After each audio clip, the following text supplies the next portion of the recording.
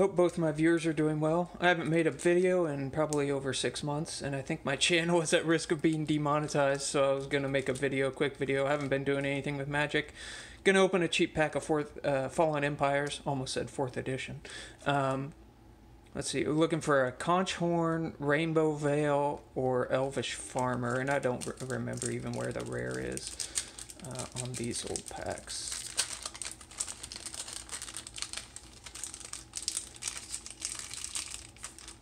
Hope both my viewers are doing well.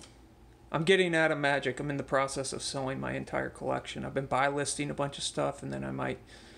Uh, I gotta smell. I'll smell the cards after. You always gotta smell these old cards. Ooh, Basal, Basal Thrull, Basal Thrull. Dwarven soldier.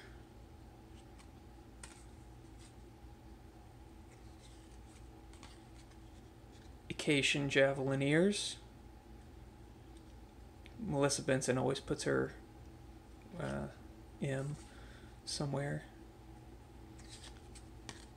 Elvish Hunter, not the Elvish Farmer that we're looking for.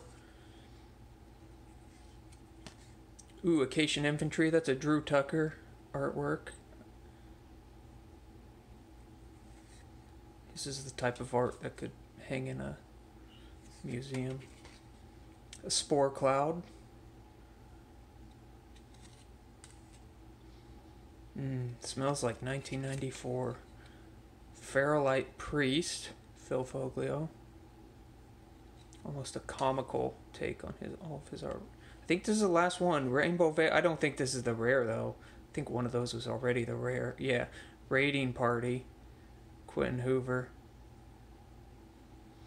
Yeah, well, I'm selling my collection, getting out of Magic. Uh, sold most of it. Still have uh, quite a bit to sell, though. Um, that's all. Hope both my viewers are doing well. I don't know. Maybe I'll just leave the channel up forever. I don't know what I'll do, or I might sell the channel.